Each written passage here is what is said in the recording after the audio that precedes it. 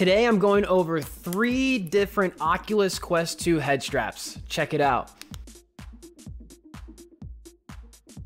What's up guys, I'm Tyler, and if you're looking for streaming and gaming tips and tricks, make sure to hit that subscribe button below. So recently I bought an Oculus Quest 2 and I gotta say I am in love with it so far. However, it comes with this not so great stock strap that I looked to Amazon to find three different headsets for me to try out and review them for you guys. So in this video, I'm gonna go over the overall build of the headsets and then I'm gonna get into the comfort of it. First up is the Altair head strap.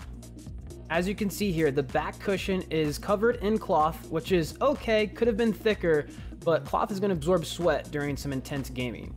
They also missed quite a few little minor details as you can see here and at the top of the head strap as well. So the main reason I got this head strap was because you can add an external battery to the back of it, which is awesome to increasing your gameplay on Oculus for multiple hours.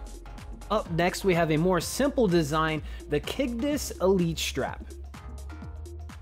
The back cushion on the KGDjS seems to be a little more plump than the Altair, and it seems to be cloth as well, which again is also going to be absorbing some sweat when doing activities. And then finally, the not so simple design BOBOVR.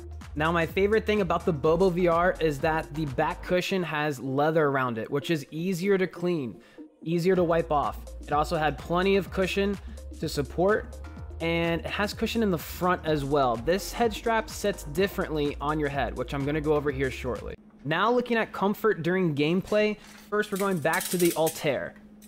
Something this one's doing that the other two aren't is the gear, the crank is on the side, not directly in the center. Uh, I noticed it seemed to favor the right side a little more when tightening. Stayed on pretty well, but the biggest thing I noticed with this is that it was constantly touching the top of my ear. You can see my ear is actually red there. The weird thing is when you put the battery in, it actually balances the front part of the Oculus. It makes it much easier. It doesn't feel so front heavy when playing. Uh, looking left and right, everything stayed pretty stable though once it was properly tightened. And uh, yeah, just overall not too bad. Just again, that earpiece on the right was bothering me. Next up, we have the KGDjS again. Uh, again, tightening it was a little simpler than the Altair. It tightened in the dead center. I didn't feel like it favored any sides. It felt very secure. Of the three that I tested in this video, I would say that the KGDjS felt the most secure to my face of the three. However, in this next clip, you'll notice it jumps gears though sometimes. You'll see it pop back um, in three, two, one this kind of made me question the quality of the build and if eventually things might loosen up inside whatever gears are going on. But again, when this one was on me and it was secure and ready to go, it felt the most secure, like it wasn't to leave my head at all. And finally, the Bobo VR2. This one is a halo strap where all the pressure is really on top of your head and not around your eyes, which is great for long time game playing, long term sessions uh, and comfort overall. And what I love most about it is how easy it is to take it on and off. I don't, once I have it set to the right tightness to my head, I don't have to undo it to take it off. I just pull up and out. All three of these head straps have their benefits.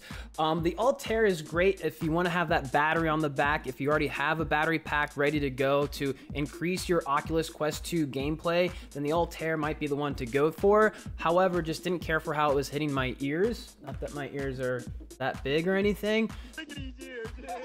So that was the one con for it, but overall not too bad with the Altair.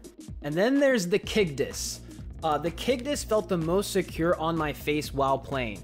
So if I had to be like, hey, one hour tournament, I need my best gameplay possible, I'm probably gonna throw the KGDjS strap on.